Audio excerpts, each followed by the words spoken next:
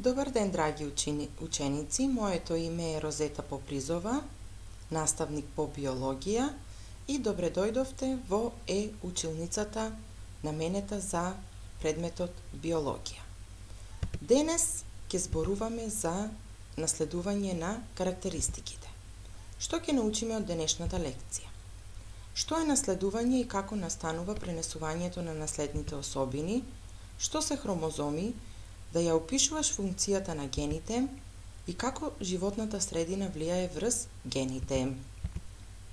Наследување. Секој знае дека потомците личат на своите родители. Сличноста на поколението со своите родители настанува како резултат на една природна појава која се вика наследување. Наследувањето се пренесува на карактеристиките од родителите на нивните потомци. Особините кои се пренесуваат се наречени наследни особини. Еве ви дадени примери во врска со наследните особини или наследувањето. Што се хромозоми? Хромозомите доаѓаат од грчкиот збор хрома, што значи боја, се основни носители на наследните својства кај живите организми. Сместени се во јадрото во клетката. Изградени се од една кончеста материја наречена хроматин. За време на делба на клетката, хроматинот преминува во кончести телца наречени хромозоми. По клетките кај различни животни има разлика во бројот и големината на хромозомите. Еве ви слика од даден хромозом. Гени. Гените се сместени во хромозомите. Тие се носители на наследниот материјал.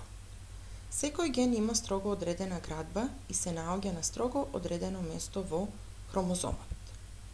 Гените ги одредуваат карактеристиките на живите организми. Сите организми имаат гени. Гените се пренесуваат од родителите на потомците, односно се наследуваат. Според досега кажаното доаѓаме до заклучок дека новата единка за една особина има два гена. Едниот е наследен од таткото, додека другиот од мајката па според тоа гените може да бидат доминантни и рецесивни.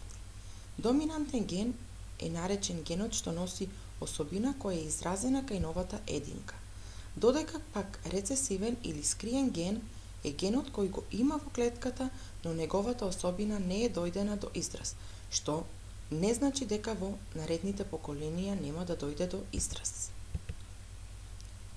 Како животната средина влијае врз гените? Знаеме колку и да личат поколенијата на своите родители, тие никогаш не може да бидат потполно исти. Освен при мешањето на особините од двата родители, разлики се јавуваат и поради дејството на надворешната средина. Секој организам како засебна единка се развива под влијание на два фактори. Едниот фактор е наследните особини, а другиот е влијанието на надворешните услови. Надворешните услови ги носат разликите кои се јавуваат помеѓу родителите и поколенијата. Па, еве ви пример. Детето може да наследи ген од своите родители за да порасне високо. Но ако не внесува доволно храна додека е мало, детето нема да порасне високо. Друг пример е генот за изградба на гласни жици и дел од мозокот што возможува говор. Сите зборуваме, Ама дали можеме да се разбереме со секого во светот? Одговорот е не, бидејќи сите растеме во различно обкружување на животната средина. Едни зборуваме македонски јазик, други албански, трети англиски и така натаму. Драги ученици, дојдовме до крајот на денешната лекција. Па да заклучиме што научивме ние од новата наставна единица. Научивме дека наследувањето е пренесување на карактеристики од родителите на нивните потомци. Хромозомите се основни носители на наследните својства кај живите организми и тие се сместени во јадрото во клетката. Гените се сместени во хромозомите, тие се носители на наследниот материјал и гените може да бидат доминантни и рецесивни. Надворешните услови ги носат разликите кои се јавуваат помеѓу родителите и поколенијата.